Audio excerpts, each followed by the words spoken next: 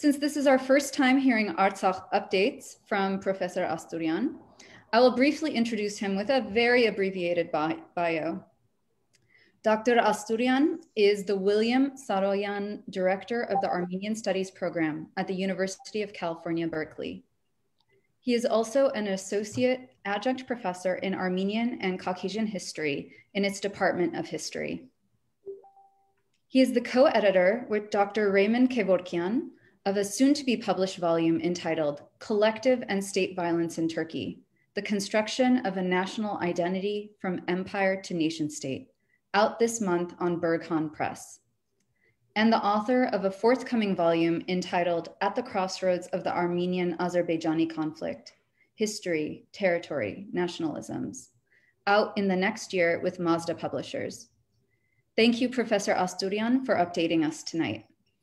So the plan for tonight is we're going to have a Q&A with Professor Astourian, and we'll start with the first question for tonight. A humanitarian ceasefire was supposed to begin at midnight on Saturday, local time. Can you tell us what has happened since then? Uh, uh, the answer is extremely simple. Uh, Azerbaijan uh, was not interested in it at all. Uh, they agreed to it in Moscow and then uh, they changed positions uh, there are indications that they took advantage of uh, that agreement uh, to regroup uh, troops. And this was the second time that the ceasefire agreements have failed. so it's very straightforward answer. The war has continued with I would say even uh, renewed intensity, especially in the south uh, with uh, positions that have uh, changed. So it seems like the yes, the ceasefire was not respected. It was immediately broken again. So I would we would like to hear about whether either side has made significant gains this week, any military gains. And though we also are never sure about Azerbaijan's military casualties because it does not release that kind of information. It does not release its military casualties. Can you tell us about the major losses this week? Well, on the Armenian side, uh, it's clear that there is an average of uh, 40 to 90 uh, soldiers uh, killed every day. It varies every day, uh, you, know. Uh, that's most of the time. There might be a few more some days. But that's the range approximately. That means also there are at least twice that number of people probably who are wounded. We don't know that.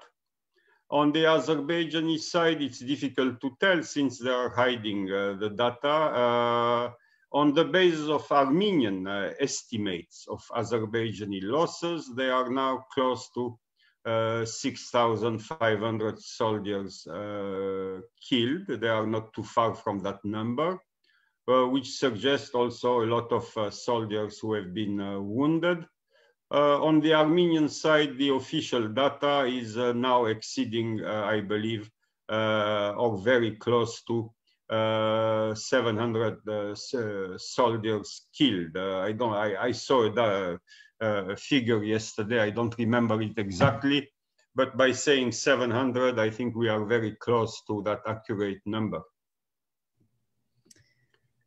Now, those are about the losses. Are, were there any significant military gains that were made on either side uh, this in the last week or so, or were there any significant um, offensives that were made on either side if that you if you could comment on that? I will uh, comment on these in a somewhat abstract way for various uh, reasons that uh, i will also uh, state you cannot judge a war uh, or how it is going on the basis of uh, daily fluctuations of positions even weekly keep in mind that uh, if you looked at the Second World War, uh, you know, the German offensive against the Soviet Union, uh, it went beautifully well. uh, for the first few months. Uh, then they were stuck uh, with massive losses, uh, whole army corps uh, surrounded. Then they returned uh, to Berlin with the Russians advancing, you know, up to that city. So I notice in the Armenian press in Armenia, among some Armenian opposition figures, attempts at uh, creating fear uh, that the situation is extremely bad, I am concerned, and so on. There is that rhetoric uh, which would be, uh, wouldn't be tolerated even one day uh, in France if France were in a, in a war. that has proliferated over the past few days, and I regret that. Uh, and uh, on the other hand, who cares whether you are worried, you are happy, or uh, whatever else you might be? That is, uh, uh, assuming people are genuine and are not pursuing a political agenda. Uh, personally, I'm not particularly interested whether they are happy or concerned or distraught or depressed. You know, I don't see what is to be gained by saying those things. Yes, there have been significant uh, uh, changes this week and also counter, uh, uh massive counter changes. Uh, the main idea, the global idea is uh, one has to keep the following issue in mind. the evolution, the changes seem to be occurring in the southern front, the, keep in mind the northern front is uh, mountainous with places uh, above even, I believe, 3,000 meter high. Uh, there hasn't been, so far as I know, I am, I mean, I am not part of the army, uh, any uh, major uh, changes there, so far as I know. In the south is a more flat terrain for part of it, and it would seem that there have been some advances by Azerbaijani troops uh, and that Armenian forces uh, might have tactically withdrawn to higher positions. And yesterday they uh, really wiped out uh, Azerbaijani forces uh, that thought that they had uh, control of the Khodaferin bridge and dam. So this is the situation. And um, I repeat, there is no point in uh, thinking that from afar and by describing what happens this day, that day, over the past three days, you get a better understanding of the war. Uh, the Armenian officer corps is outstanding. and uh, they know how to trap enemy forces, for example, and if they have withdrawn, that doesn't mean automatically that it's a disaster and uh, things are falling apart. Now, all of this having been said, uh, I cannot predict how the war is going to develop uh, over the next week or several weeks. We don't know how long it will last. But again, in a war, uh, it ain't done until it's done. And uh, it's uh, the end of it that is important. At that point, we can assess what's going on. Yeah, I, I completely understand what you mean there about winning a battle is not does not mean winning a war or win or losing a battle does not mean losing a war. So we have to look at this more holistically and also see at the end of the I, I hope at the end of uh, this conflict, at the end of this war, we'll see what what has been gained. Uh, in any case, why don't we go on to a different topic?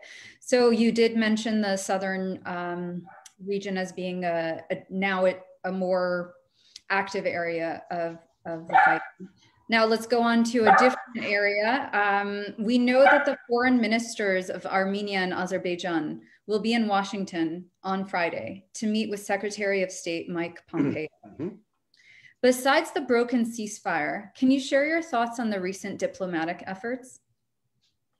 Well, uh, I assume the question uh, pertains uh, to, to, to, the United States, uh, since you mentioned that visit. Uh, over the first uh, two weeks or more of the conflict, the United States was essentially non-existent, I would say. There, there no particular significant comment about what was going on. Uh, except perhaps some official, uh, you, you, know, uh, the, the conflict cannot be solved militarily. You know, that type of comment that is the, the, that they repeat endlessly. And in addition, it is not true. The conflict can be solved militarily if one of the two sides uh, is uh, either fully defeated or on its way to defeat. So it's literally an absurdity that a conflict cannot be solved militarily and this and that. Uh, insofar as the United States, as I said, the first two weeks or a, a few more days, uh, you know, uh, quasi absence. Uh, then Secretary Pompeo had uh, two statements, I think, uh, encouraging, I believe, ceasefire. And then some nice thing, he hopes that Armenians uh, will keep fighting uh, and successfully. So I don't, he's not a diplomat by training, but for sure he must know what he's saying. So in uh, Secretary Pompeo's uh, statements, uh, one can discern that the United States has more or less stated that Azerbaijan started the conflict and that uh, uh, the Armenians are defending themselves. Now, in itself, that's already significant because, uh, you know, when you read things like uh, the BBC or uh, other uh, countries' statements, sometimes those countries don't know how, how things are happening. Now, what will be achieved on Friday, I don't know. Uh, you know, France and Russia tried to uh, establish a ceasefire. It was immediately breached. Uh, the Minsk group co-chairs breached.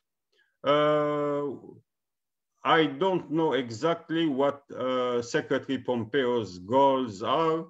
Will it be, uh, again, a ceasefire? Uh, will it be something broader, you know? One thing is certain, without massive pressure from the US, uh, Turkey would like this conflict to go on. Uh, and I am not quite sure uh, that the United States uh, will adopt such a position uh, toward uh, Turkey. so that, I think, takes care of the problem. Uh, and I hope I replied to your question. You did. So uh, you you told us much about the American diplomatic efforts, and as you mentioned, the statements recently by Pompeo um, might suggest that the Americans have supported the the claim by Armenia and Nagorno-Karabakh that and Artsakh that Azerbaijan started this war. So that's great. Um, it is a step forward in some ways. However, we don't know how what will happen on Friday. Uh, so I have another question, sort of a follow up to that. How are Russia, Turkey, and Iran reacting this week? I know, and that this might be a longer uh, response. And uh, feel free to respond however you wish. You might, you know, if you want to respond for Russia, Turkey, or Iran first, whichever you prefer. Uh, let's start with the uh, the one that is uh, the, the, the clearest and simplest uh, uh, answer, you know. let's start with Turkey. Turkey has adopted a maximalist attitude, which is not surprising. And I believe this morning or yesterday night, I saw that this morning, uh, uh, President Erdogan has even said that if, uh, if need be, uh, if Azerbaijan uh, requests, uh, Turkey is ready to send troops to Azerbaijan to back up the Azerbaijani war effort. So I think just that statement gives you an idea of the whole thing. And of course, along the way, it's as if uh, they didn't have already troops there. Uh, it is estimated that there are 600 or 650 uh, military, uh, uh, Turkish military elements of various types uh, from generals to special forces to uh, people uh, dealing with drones and so on in uh, Azerbaijan already today. So they have already troops there. Uh, so Turkey, it's absolutely clear. Uh, uh, the more complicated answers are the other two. Let's go to Iran nearby. Iran's position officially is a position of uh, almost neutrality. You know, uh, they don't want conflict uh, there. they will back ceasefire and so on. But in practical terms, uh, Iran is not at all happy that uh, Islamist terrorists have been inserted into the region. Iran is not at all happy that the southern front is essentially a war along the Arax River, uh, the Arax River Valley. And keep in mind that that river is the boundary uh, with Iran. So the other side is Iran, and on the other side, on the, the Iranian side, uh, going towards Tabriz and right and left in Iran, uh, you have uh, Iranian Azeris, that is the real, the people who have been called historically Azerbaijan and uh, are the Iranian Azeris. Historically, Azerbaijan was uh, the Iranian part, uh, that region exactly. Uh, Tabriz and, and the surroundings. Uh, there is some agitation among those uh, um, Azeri Turks of Iran, which was actually the, the hope of the West, of the US, of Israel, and so on let's call her scholar, uh, but uh, she's more than a scholar, Brenda Shaffer, uh, published a book, I believe it's more than a decade ago now, uh, precisely on uh, these people and their uh, vast hopes that, you know, they would create a headache for Iran. Now I believe she is in Israel. she has contacts with various bodies. At some point, there was a center at Harvard I don't remember what it was called, the Caspian Center or something like that. Uh, uh, she was the executive director of it, I believe.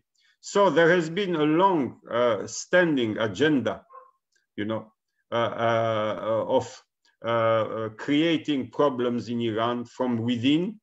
And the largest group that looked the most promising were the Iranian Azeris. Now, Iran has also made it clear that if more missiles or anything else, uh, drones, appear on its territory, uh, there would be a price to be paid for that. Uh, that is clearly uh, a warning uh, to Azerbaijan uh, because most of those cases, there have been several, come from Azerbaijan.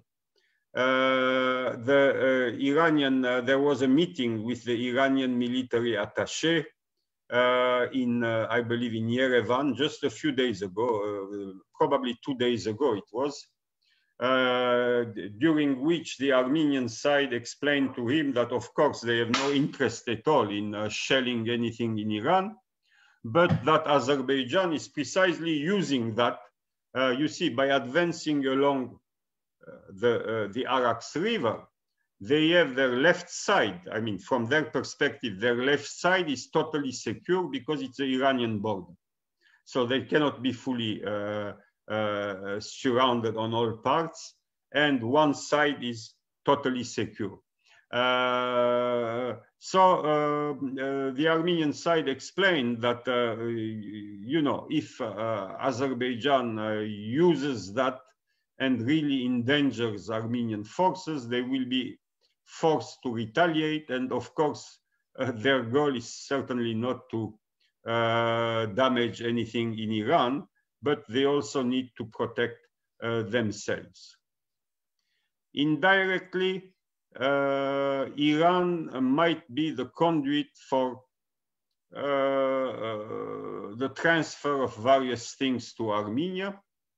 Keep in mind that Georgia has generously closed its airspace uh, supposedly to all sides, uh, but that is a lie. It is allowing uh, pseudo-civilian planes to go to Baku every day from Turkey. And you can rest assured they are not carrying tourists, you know, right now. Uh, so uh, Georgia is doing what it has always done without thinking that in the long term, if Armenia is in trouble, it will be a puppet of Turkey and Azerbaijan. And in some regions, actually, there is a vast Turkish presence now in Georgia. Uh, so it might be a crafty policy in the short run because they have their, uh, the Azerbaijani pipelines, you know, reaching the ports through Georgia. In the long run, it might uh, turn out to be a little bit problematic uh, for them. Insofar as Russia is concerned, again, the situation is extremely complex. Russia has uh, a lot of problems uh, to face. Uh, instability in Kyrgyzstan, instability in Belarus, the problem of the annexation of Crimea, uh, the semi-dormant uh, conflict uh, in the eastern Ukraine. there is Syria, where it is involved there is Libya. In both Syria and Libya, Turkey is on the other side of the uh, spectrum of the conflict. Uh, so uh, I, I, am absolutely certain Russia is not at all enthusiastic about this conflict. It is even less enthusiastic to see that uh, already thousands of Islamists have been uh, imported, so to say, uh, into Azerbaijan, and from there they can cross very easily into the North Caucasus. And that's the weak part uh, of the Russian South. Uh, these are very unstable uh, uh, uh, republics. Chechnya held by a strong man, Ingushetia, Dagestan with a collection of minorities and other such areas. So it views that as a big no-no. Uh, the second thing where uh, it has made a clear statement, uh, just a few days ago, four or five days ago, uh, they put out a statement to the effect that they are verifying whether Azerbaijan has uh, uh, fired, shelled, bombed Armenian territory itself.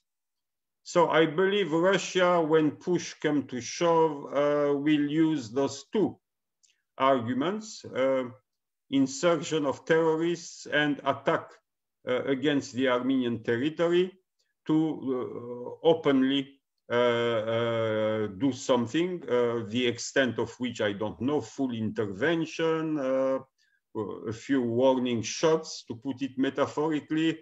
Um, uh, but uh, at that point, it will uh, intervene in one way or another. Uh, and also in order for, for it to intervene, of course, the Armenian government has to request that. And uh, up to now, at no point, so far as I know, has the Armenian government asked for uh, Russian involvement. Uh, they are waiting, uh, you know, they, they will ask if really uh, need be. Uh, on the other hand, Russia has a, a, a, very old agenda already, several years old. That is, they want to establish peacekeepers, so-called peacekeepers, uh, around Karabakh uh, to stabilize supposedly the situation. Uh, the Armenian side has been opposed to that because it's de facto loss of sovereignty uh, and uh, once they are there, uh, you, you, know, they are there. You, you can, it's a bit difficult to tell them to leave. as for Azerbaijan, now it is even more emboldened. I read the Azerbaijani press in Azerbaijani every morning. Uh, the, you know, there is a, a feeling of uh, major achievements and so on. Uh, all the casualties are you know, uh, taboo. There is nothing about that. Uh, everything is going well. Uh, you, you, see short videos of soldiers raising a flag and so on. so there is some kind of a euphoria which if things go poorly later on for Azerbaijan, uh, uh, that will be very counterproductive because Uh, the, the population, except perhaps a few uh, educated people or others, uh, are not at all aware of the extent of the losses, you know? there are probably indications that Armenia might be receiving some uh, help. Uh, I won't specify uh, of what type. And um, so this is basically the position of Russia. there have been months ago, before the war, supposedly in the Armenian press in Armenia, supposedly the Russians want war and this and that. Uh, these are totally typically uh, the type of paranoid, distorted articles that you can find uh, in that uh, press. I don't believe one minute that uh, Russia is excited and happy at uh, what's uh, going on. All the more so, the more so since if things degenerate and uh, Mr. Erdogan is continues to be that self-confident about intervening and so on, uh, you, you, know, the, what is a war uh, uh, between Armenia and Azerbaijan could literally degenerate into a larger conflict. so there are many things that cannot be predicted, but are far from impossible. So so from what I heard in your response here with Russia, Turkey, and Iran, um, we know Turkey's stance of officially helping Azerbaijan and and saying we will send more troops, um, and Russia and Iran both watching the situation. Uh, Iran with the southern border, very uh, much watching the, the south and to see what's happening there. But Russia, as you mentioned, um, checking things just to make sure that uh, Armenia was in fact attacked, because if so, they could, uh, they would have to, uh, if asked by Armenia, come to their aid. So yeah, you know, uh, let's keep in mind that uh, Russia has a treaty with Armenia. Mm-hmm. Uh, in that treaty, uh, the issue of Karabakh is not included uh, because I hear a lot of Armenians. You know, why is Russia not doing, uh, you know, supporting, intervening, and so on? there are allies. You know, where, where are they? this is an irrelevant issue. You know, the treaty is not with Mountainous Karabakh, with the Republic of Artsakh, which, by the way, is uh, unrecognized uh, up to now. Eh? Uh, uh, so uh, uh, that argument is very simplistic. And I believe yesterday, I read it this morning, gave a lengthy speech, the Prime Minister Pashinyan, in which he is lauding Russia and stating that contrary to what some circles uh, uh, related to the previous authorities in Armenia have been claiming over the past two years, you know, that uh, uh the situation for Armenia is very dangerous because the Russian elite hates Pashinyan, uh, things are falling apart and so on. But, you know, Mr. Kocharyan, Mr. Serge Sarkisyan, oh, they were beloved in Moscow, you know, they were cherished. Uh, Mr. Pashinyan is clearly stating that he is extremely happy with very solid interactions with uh, the Kremlin. And uh, I happen to believe him.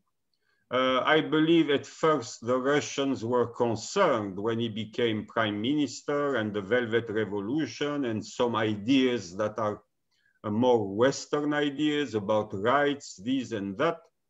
Uh, but uh, my impression is that after that first year and maybe a few more months, uh, they have come to the conclusion that me, despite those, uh, you, you, know, mental changes, changes in mentality or uh, laws and so on, that Mr. Pashinyan is wise enough not to do what people, what people like Saakashvili in Georgia uh, thought they could do that, uh, you know, uh, Armenia is going to join NATO, Georgia is going to join NATO, and so on. Uh, I believe the, you know, the people who, who know in Russia and have power have realized that this gentleman, Mr. Pashinyan, is not going to take that route. and thus, I believe uh, that um, they have more confidence when they are dealing uh, with him. Uh, I am also uh, confident that uh, some help has been provided uh, by Russia, the details of which are not for this program, uh, but what I wanted to say, it is also wrong to assume that uh, Russia is just uh, watching and, uh, you know, the, they are sitting around nargiles and uh, vodkas and doing um, nothing. so that's reassuring. I, I, I, personally feel reassured by hearing that. Now, how uh, would you so we were talking a little bit about what was happening in armenia earlier in your response. Could you describe for us the mood in armenia today? What is the mood like these days there? The mood in, there is somebody who wants to skype me because uh, i have the program uh, you know this morning. Uh, uh the mood in Armenia is quite interesting. I, I, I received a very lengthy email uh, by a good friend of mine who is also uh, an academic, but not in Armenia, but he lives in Armenia now. Because of COVID, he can teach uh, uh from, uh, from afar. Uh, there is massive solidarity with the war effort. Even poor people go to the front of Matenadaran. He gave me the example of a poor taxi driver, an old man. Every day he goes and he gives a pack of cigarettes. You know, that's what he can afford. Huh? Other people do other things. Uh, families have welcomed uh, Gharapar Armenians, uh, you know, who were encouraged to leave at the beginning of the conflict, and wisely uh, so. You know, uh, most of the civilian population now of Karabakh, uh, not all at all, but um, most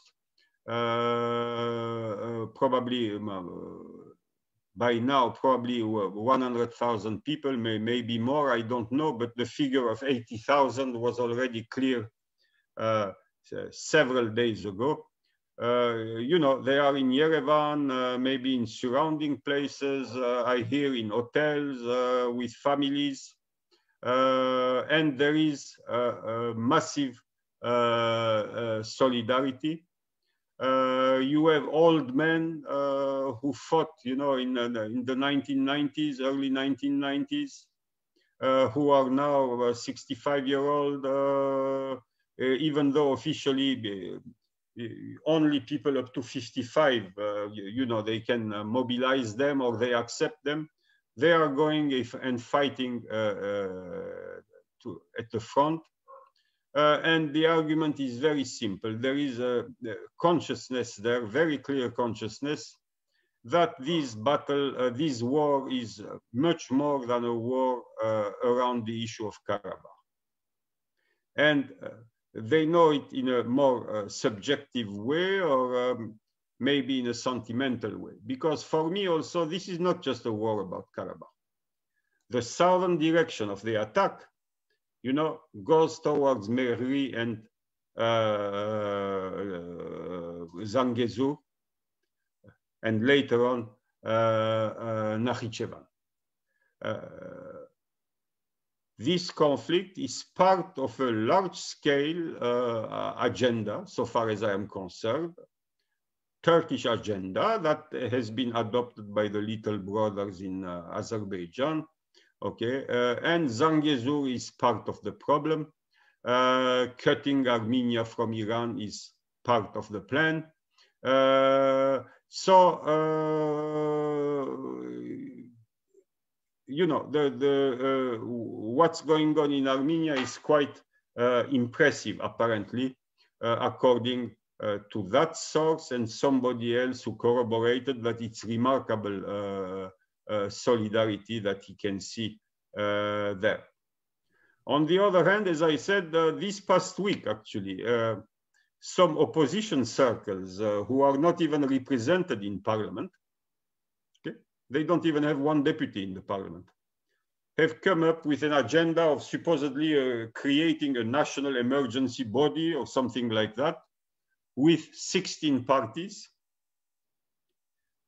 of those 16 parties, 14 uh, are as much a party than I am a political party. If I take into account my family, some of them have barely 12 members or 25 members and so on. Uh, they, they don't even exist outside Yerevan. Uh, only two of them have significant structures throughout Armenia. And they have come up with a proclamation uh, asserting that you know this national body and so on, supposedly bringing unity, should also have the right to take decisions. Uh, this is a, remarkable phenomenon. You know, I have been studying history for many decades now. I have never seen that in any country at times of war. That is, that uh, people uh, who have no representation whatsoever in parliament, after free and fair elections, are going to claim a position of quasi-leadership with decision-making, and it will be 16 different individuals, leaders of parties, that are going to decide as if there was no defense ministry, there were no generals, you know, there, there is no government, apparently, uh, the, the, these people are going to decide. From the same circles came uh, uh, statements, I won't name them, okay, saying the situation is very bad, very, very bad. We are very concerned and so on. Uh, we tried, we tried to unite the nation, but uh, Mr. Pashinyan, you know, he doesn't agree and so on. Uh, even though Mr. Pashinyan met with them, which was actually uh, quite uh, remarkable. So there are, uh, when we say the mood in Armenia, the, uh, I, I, could very clearly notice uh, the, this past week approximately, uh, uh, this attempt at uh, um, creating fear, you know, a depressive mood to the effect that things are going very poorly and so on. my position is very simple, you know, in times of war, uh, even if those things were true, hmm, what do you gain by stating them in uh, your, your country? You gain nothing. You demoralize, you bring in fear, uh, and you weaken uh, the nation to which you belong. So uh, the other uh, side of the coin, uh, the opposite side of the coin, the massive solidarity of small people, uh, average people, uh, is this type of uh, political games that are not going to go anywhere, I believe. So, from your description of the mood in Armenia, it seems like so much solidarity with uh, this kind of footnote uh, about these these smaller parties, the size of families, uh, who are kind of stirring some things up. Um, now, however, you did mention a few things in here that, again, reassure us here in the diaspora about what's going on there in Armenia and also in Artsakh. So thank you for sharing that information with us about what what the mood is there, which seems like the, the mood of solidarity. Mm-hmm. So thank you for sharing that. Um, we have a few last questions and uh, then we'll wrap it up for this evening. So there was a question uh, in our Facebook live stream. Uh, we've been getting a few questions on there, and I'll I'll share these two with you, and you could pick them up as you would like. Uh, one of them is what is Russia's um, what is Russia? How could Russia react? How might Russia react to a close Turkey Ukraine alignment? So what? How might they react if that uh, relationship was strengthened? And uh, another question, unrelated, is um, Will pre the president uh, France come to our aid? Will France come to our aid? Is France uh, a player in this? Of course, as we know, um, one of the ceasefires was done with the aid of France. Uh, however, uh, either of these questions are, you can pick them up as you'd like um, to comment on. I mean, the, the Ukrainians have uh, very clearly chosen uh, their side in this conflict, and it's not Armenia, uh, it's Azerbaijan, uh, as a result, Turkey. Uh, one of the reasons, of course, is, uh, you know, the separation of Crimea, which actually was part of the Soviet Union and was not part of the Ukraine. Uh, until uh, the 1950s when Khrushchev uh, agreed to the transfer of Crimea to the Soviet Socialist Republic of Ukraine. so they have that problem with Russia. They have the fact that maybe one third of the country, or may, maybe a little bit more, uh, the, you, you, know, uh, is essentially a secessionist uh, segment of the country. Uh, and Russia played a role in that. So in general, they are not exactly enthusiastic about uh, secessionist uh, attempts because, you know, a success on the part of Karabakh, of course, uh, uh, has ripple effects, you know. Uh, by the way, the same issue, the fact that after the disastrous attempt by uh, uh, Mr. Saakashvili to attack uh, South Ossetia, and the Russians literally moved into Georgia, cut the country into two. neither the late Senator McCain or the Republicans, none of them who had encouraged Mr. Saakashvili budged an inch. And Abkhazia proclaimed independence, South Ossetia proclaimed independence. So you see that these people view the issue of Karabakh in, a, under, uh, in, the same, in the same way they view the, the issues that have weakened their countries. Hmm? Uh, how Russia might react to, uh, you know, Ukrainian uh, Turkish collaboration or, uh, you know, even more than that. Uh, I have no idea. It all depends on the extent, certainly, of that collaboration or if it reaches uh, some kind of uh, military formula or treaty or something like that, uh, then things might get bad. Uh, but you, you, know the the Russian state, like uh, all major imperial states and uh, great powers, uh, uh, you know, takes steps after a lot of calculations. And as I am not privy of those calculations, and as we cannot predict what Ukraine and Turkey are going to do in two months from now, my answer is basically general you know, it would be foolish to predict something precise uh, when you don't have uh, those data at hand.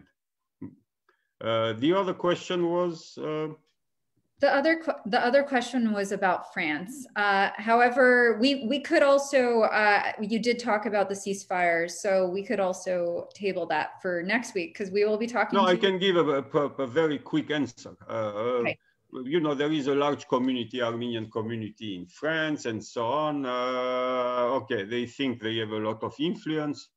Uh, French policy is not determined by the fact that uh, you have uh, 500,000 uh, fully integrated model uh, refugees and immigrants who became Frenchmen, and we love them. These are Armenians. It's Charles Aznavour. Is I don't know what Manoukian. It's such and such an artist. Uh, that's not how the French state uh, uh, works. Hmm? they have their own interests. They can make beautiful statements. They can try to be helpful. I believe President Macron would like to be helpful. But what means does he have to affect Turkish policies when several European states don't want to put uh, sanctions on Turkey? Hmm? In a nutshell, France is a medium power, again, one of the top 10 uh, by any chance, a medium power with nuclear, thermonuclear missiles, Uh, nuclear submarines, not a lot of people have that, believe me, uh, in the world nations. So it is a very significant power. But by itself, you know, it has very few, little leverage on uh, this conflict as various European countries, including Germany, Italy, Hungary, and so on, Spain, uh, are against any uh, sanctions against Turkey. Whether France is helping indirectly with uh, some, uh, I don't know what type, humanitarian or uh, some military material that is not too big and so on, I have no idea about that.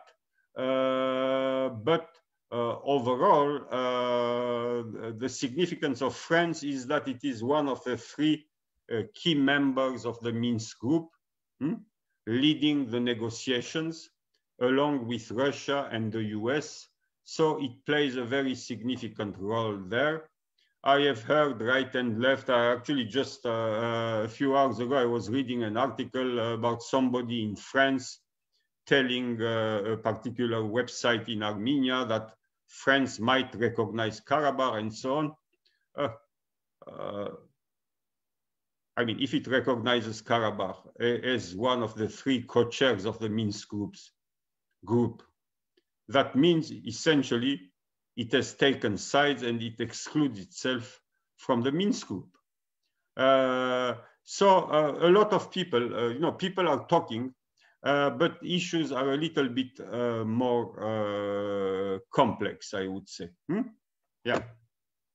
So from what I'm hearing, what I'm hearing you say about France's involvement here is that it can't act in isolation, in in the sense that if it acts in isolation uh, to choose to sanction or to choose to recognize Artsakh, uh, it's not really effective. In fact, it, it kind of shoots itself in the foot uh, with the. Actually, Minsk. it might even weaken the Armenian side if France is out. Mm-hmm. Uh, I don't know, uh, but uh, you know, if people are predicting maybe France is going to recognize, I, I cannot deny it because it's a, it's something that hasn't happened. It's a prediction. Hmm? Uh, maybe an airplane might also might also fall on my house uh, on Friday evening at 6.15, you know? Uh, I cannot argue against that, you see, because uh, I don't know, it may technically, statistically, it's unlikely, but that could happen. Uh, so uh, that's why my answer tries to stay within the bounds of things that can be reasonably stated on the basis of the data we have. I don't want to go into uh, uh, to rely on things I, you know, I, I, cannot predict uh, for which we have no clear data and to, make, to reach conclusions on the basis of that. Sure, I completely understand. So what sounds like a way forward, though, is a coalition of countries that are going to come together and say, okay, we sanction, we're going to ask th- this from Azerbaijan. Uh, that seems like a more likely way forward uh, from what I'm hearing you say. Well, that could be, for example, depending on the attitude adopted by the US. Apparently, this Karabakh problem uh, right now is probably the only issue around which uh, the, the US and Russia pretty much agree. and uh, are working together. And it's quite clear on both sides. I mean, it's not uh, the Russians saying that, or, uh, you know, uh, it is quite clear. Now, if Russia, the US, plus France, you know, come up with a clearer statement that we know who is responsible for what this time, eh? instead of general statement, we want ceasefire, the problem cannot be solved militarily and so on, okay? If they point to responsibilities and uh, adopt a firmer attitude, uh, uh, th that should give some food for thought uh, to Turkey. Because behind this conflict, there is Turkey. We constantly talk about Azerbaijan, but Azerbaijan, so far as I'm concerned, has already started relinquishing uh, some of uh, its uh, authority.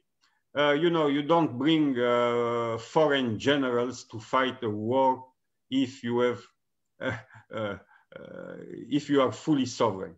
Hmm? I cannot imagine French uh, fighting a war and importing Danish generals and special forces to tell them exactly what they have to do. Hmm?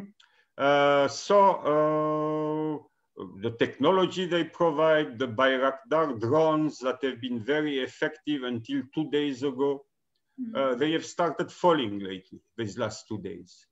Uh, so uh, uh the issue beyond Azerbaijan that can be, you know, Azerbaijan can be uh, really, you can uh, put pressure on it easily, is the involvement of Turkey that complicates things uh, very significantly.